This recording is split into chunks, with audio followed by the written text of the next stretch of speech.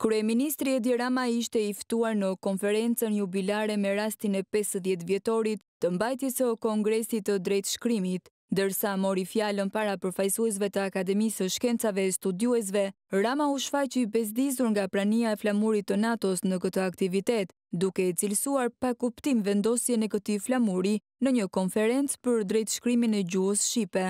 I vetmi flamur që s'kuptova këtu se pse është është flamuri i NATO-s.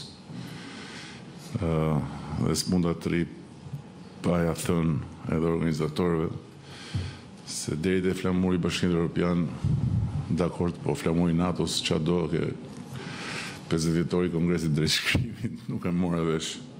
E megjithëse u mundua, kryeministri përfundoi sërish duke e politizuar edhe këtë konferencë. Që më në fund, Akademia e Shkencave e ka çelur siparin e rishkrimit të fjalorit dhe u desh një komunist në krye të Akademisë së Shkencave që ta rifillonte punën me themel. Ta themi të vërtetën.